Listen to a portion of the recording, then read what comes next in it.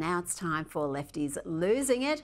Remember angry little doom goblin Greta Thunberg? Well, she appears to have lost interest in being a full time climate cultist.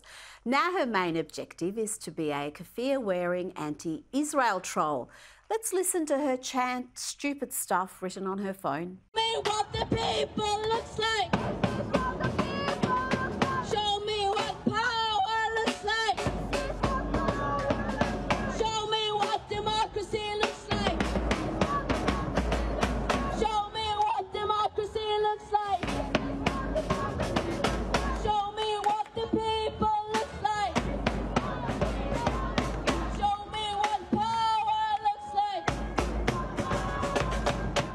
About power, for a global warming alarmist, there is a lot of fossil fuels in use right there, from the phone to the megaphone to the diesel generator on the back of that ute. Let's see if Greta can weave in some climate alarmism into her chants. One struggle, one fight, climate justice, human rights.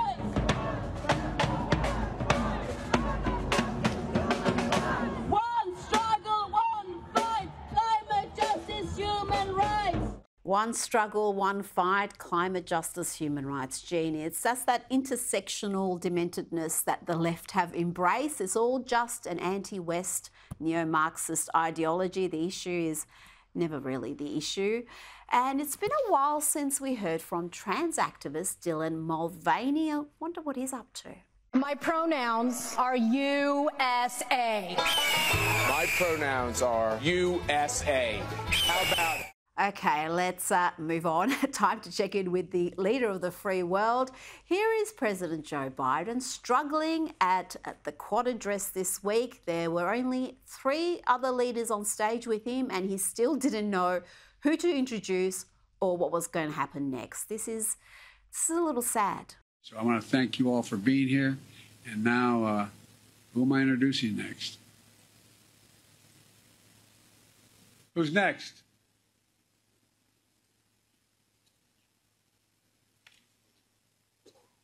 Distinguished guests, the Prime Minister of the Republic of India. Meanwhile, the woman who replaced him as the Democrats' presidential candidate is seeking another debate with Trump, who she seems to think was once vice president. Well, you probably heard I would like another debate, so I'm hoping the former vice president will agree to that. But we have a lot more to discuss. No, he was never vice president. That's you. Try to keep up. Now, I must admit, I have no idea who this next gal is, but apparently she's a pop star.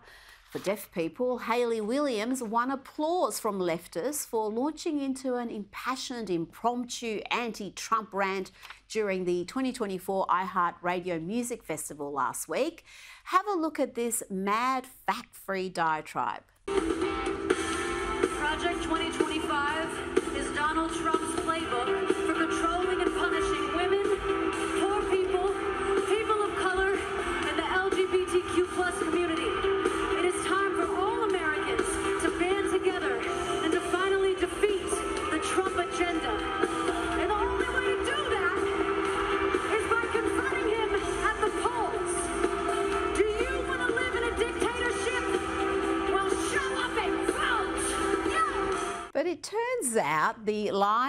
She spewed there about Trump and Project 2025 were not impromptu at all. She was reading from a script held up by one of her staff. Gosh, you'd think she could just lie from the heart. This is disappointing. Now to a couple of uh, joyful, tolerant lefties triggered by the question what is a woman? What is a woman?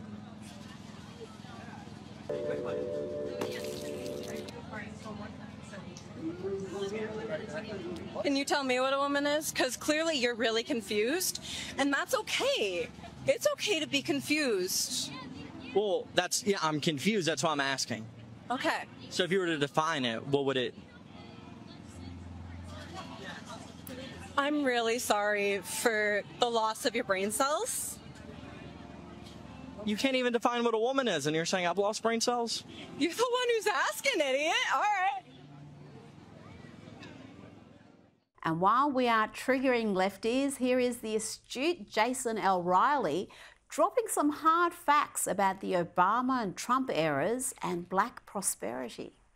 You have to realize how bad things got, particularly for blacks, under the Obama presidency economically. Unemployment, which never reached double digits for whites under Obama, did not fall below double digits for blacks until the third month of Obama's seventh year in office. Under Trump, black unemployment fell to 50 year lows. Black poverty fell to uh, its lowest level on record. You saw black wages rising at more than 15% uh, among blacks, but only 11% among whites. May not seem like a lot, but that's a 36% difference. That is not just a continuation of something that was happening under Obama, as some people like to dismiss it. Uh, it was an acceleration. For the lowest income earners in this country, their wages under the first three years of the Trump administration grew at more than double the rate during Obama's second term. This was an acceleration.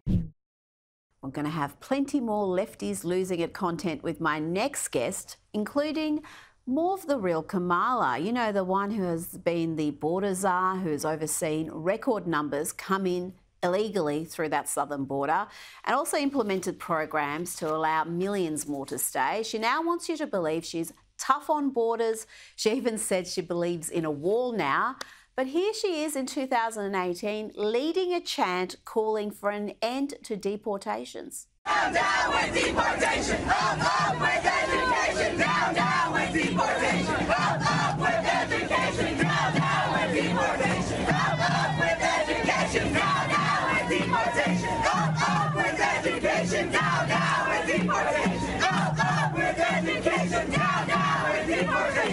Enough of that, please. Let's cross to Florida now to speak to Newsweek's senior editor at large and senior counsel for the Article 3 project, Josh Hammer. Josh, uh, let me guess, she's changed her position on that too, though she tells us she hasn't changed her values. Is anyone still buying this baloney? Well, what are Kamala Harris's values? I, am not sure that she would be able to identify it if she were asked that point blank in, in, in an interview. An interview, by the way, which she happens to not be giving because she is still not given a, a fulsome sit down interview since she bloodlessly cooed her purported boss, Joe Biden, back in July. You know, Trump has been at times struggling to try to land a go to nickname for Kamala Harris. He has his trademark nicknames. There, there was, of course, Little Marco and Lyin' Ted Cruz in 2016 and, and all of that. You know, I, I, mean, some people think that it should be Kamala because she's pretty communist leaning, you might say. I, I, mean, I, I, think another alternative possibility might be Camellia Law because she's a chameleon. I, mean, she is just a total mm. chameleon. I mean, so, so, something that she says in 2018 or 2019, 2020, who knows if she's going to believe it tomorrow to say nothing about three to four or five years from now. You know, looking at the electoral college map, I actually was playing around with my map earlier today, kind of doing some different alternative scenarios. It's really going to come down to Pennsylvania. Pennsylvania, in my opinion, is really the number one battleground mm. state of this November are the voters in Pennsylvania, when they are informed that Kamala Harris supported a full ban on fracking oil and natural gas as recently as 2020, how are they going to react to that? I mean, she could pretend like she didn't mean it. She could pretend like she holds a different position now. But how are you possibly supposed to believe her, especially when she refuses to sit down for an actual interview with any interviewer across the entire spectrum, even a friendly interview? Now, you mentioned Pennsylvania. Donald Trump's going to be back there. He's going to the site of the first attempt on his life where a bullet nicked his ear after a last millisecond head turn saved his life. It's just it's still incredible to think about. Uh, he's going to be holding another rally in Butler, Pennsylvania on October 5. And Democrat Senator for Pennsylvania, John Fetterman, has said uh, there's growing enthusiasm for Trump in the Keystone State.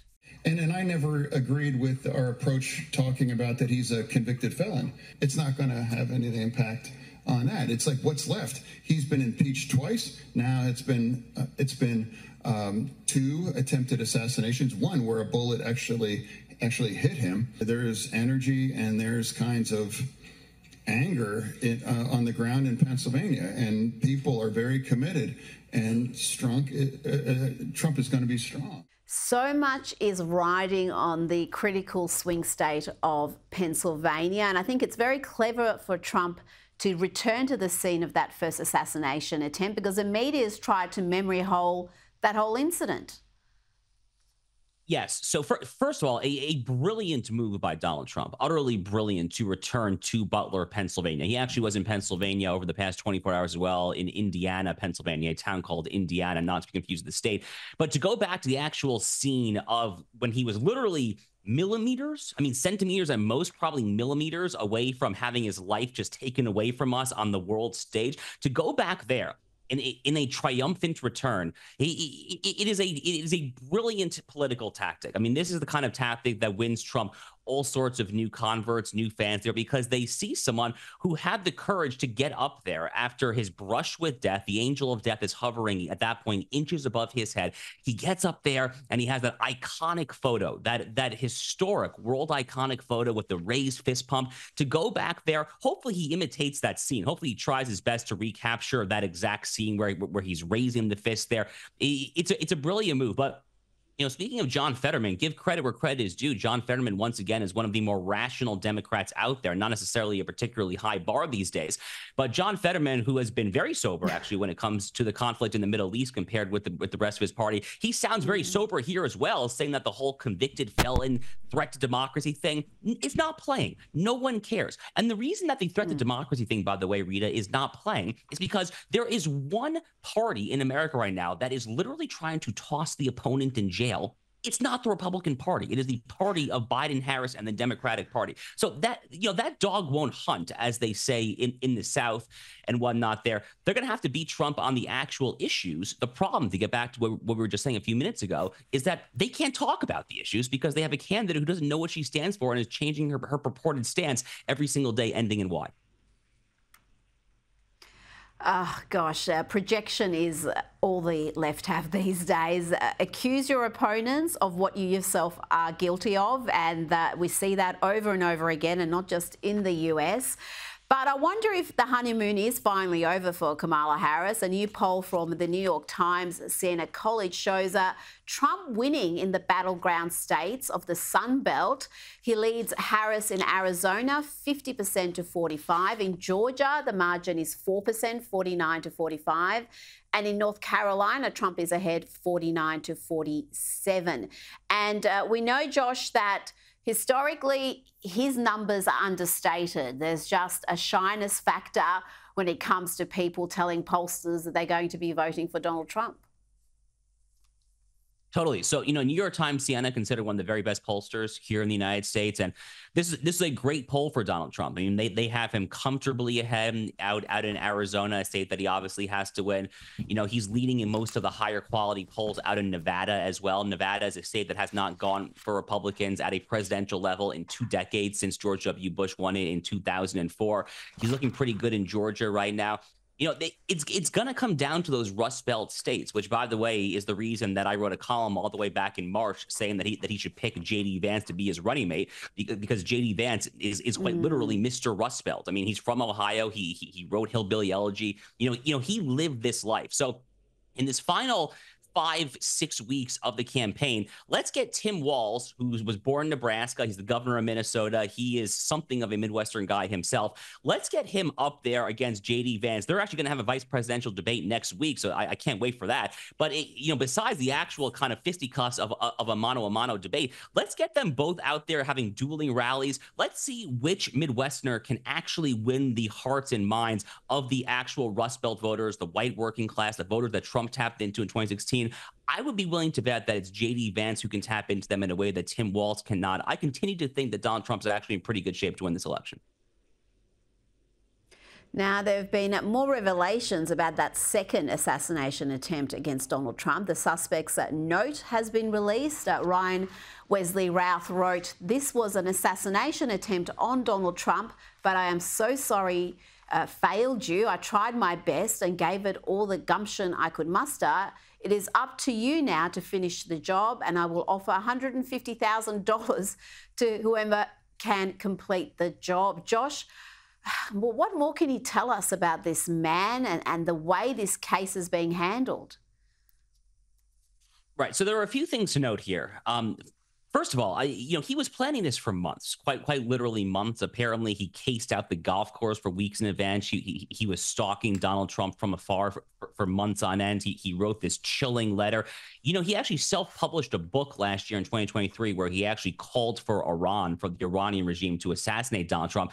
Now he's offering a, a, a $150,000 bounty. I mean, as if he has that cash on hand. I mean, the guy's a total lunatic. It's not like he can pay that up anyway. There, but I, I mean, talk about something that obviously should never have happened, especially after Butler, Pennsylvania. I, you know, to this day, I, I, we have not gotten answers from the U.S. Secret Service. They actually released an, an, an internal review of what happened on Friday.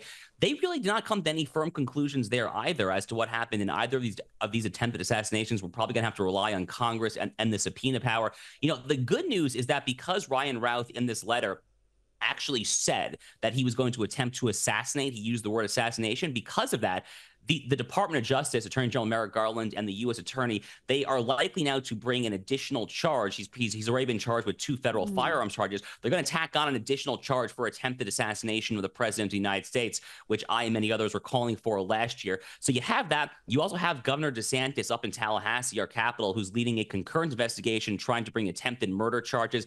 DeSantis should not slow down with that. He should continue full speed ahead as well. Look, in my humble opinion, I'm I am a proponent of capital punishment. I hope that I, I would prefer that this man fry and, and not see the light of day. But if, but if it has to be life in prison, I guess I will take that. There's so many unanswered questions, though, Josh, about where this man got his money from because he doesn't seem to have any source of real income, but he did extensive travel. He was paying for that. Why didn't he spend any real time in prison? He faced dozens of serious charges, weapons of mass destruction charge. You had a police standoff for hours. Uh, th- th- there seems to be a lot of unanswered questions with this, as there is with Butler. But uh, I want to move on to uh, today the Argentinian uh, Trump, as he has been called, Javier Milei, being in New York. He met with Elon Musk, who was wearing a black MAGA cap. Uh, tell me about the impact Milei has had on Argentina in a relatively short period of time. This is a country that went from one of the richest uh, in its region in South America to one of the poorest, thanks to socialism, Peronism. Uh, what impact has Milei's small government approach had so far? Well, I, I, in, a, in a very short time period, he has already taken drastic measures to, to, turn around the Argentinian economy. I mean, inflation has has come down to a relatively normal level. Wa- wages have, have been increasing in real inflation adjusted terms. GDP per capita is already on the rise, certainly relative to what it was under his predecessor. As you said, Rita, Argentina was by far one of the wealthiest countries in, in, in Latin America. In fact, I think by some measures it was actually by it was actually clearly number one for a period of time there and it, it, it became j- just an absolutely indebted socialist hellhole. And you know what he's been able to achieve in a very short time ought to be inspiring to to those around the world who would seek to come into power in a system of leftism or totalitarianism, and then be given the opportunity to try to turn around. There's a lot of meat on the bone, is what I'm trying to say, in a lot of left wing governments all throughout the world. The story of Javier Milei and how quickly he's come in and turned this around very quickly, that should give inspiration to those seeking to challenge and depose a lot of these other left wing socialist rulers, prime ministers, dictators, whatever their title may or may not be, all throughout the world. Mm. And also on the global stage, with what he's saying when, in, in terms of the pro Trump rhetoric, he's casting good votes at the United Nations, by the way. Argentina, Argentina has been an actually an actually rare standout good vote when it comes to, to especially to, to, Middle East issues. You know, that was not the case yes. Under the previous government. And Argentina is a fairly large country. It's a good sized population. So this is this is an important story to keep your eye on.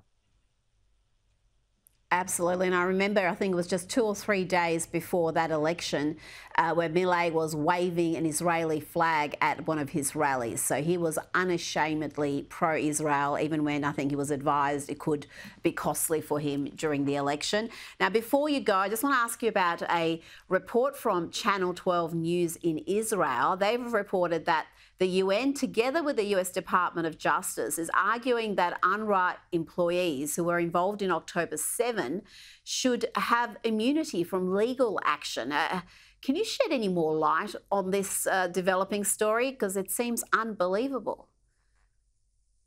Well, it's actually even worse than that Jerusalem Post headline that the viewers just saw is indicating. So the UN is not only seeking immunity for its own employees, its own employees you know, which, by the way, by a very large margin, happened to be moonlighting as Hamas jihadist apparatchiks. You know, they're, they're basically UN employees by day, jihadists by night. But it's actually worse than that because the Joe Biden DOJ, I, I, I want to repeat this the, the, the Joe Biden DOJ has filed a brief in court agreeing with this argument. The, the official stance of the United States Department of Justice is that the UNRWA employees who participated in the single largest slaughter of the Jewish people since Hitler and the Nazis were alive deserve immunity from prosecution because they're international employees. I mean, I don't have words to describe how how unspeakably evil this is. And you know, it, look, if if you're looking at what's happening on the world stage in general come November here in America, you really ought to pull a a lever for Donald Trump, given how much the world is on fire over the past few years. But if you needed one final closing argument, it probably should be this. I mean, this is just a morally jarring and absolutely rock bottom level stance that the Joe Biden DOJ is taking. By the way, taken by Attorney General Merrick Garland, who is the son of, if I'm not mistaken, of Holocaust survivors as well. Josh Hammer, thank you so much for your time this evening. Thank you, Rita.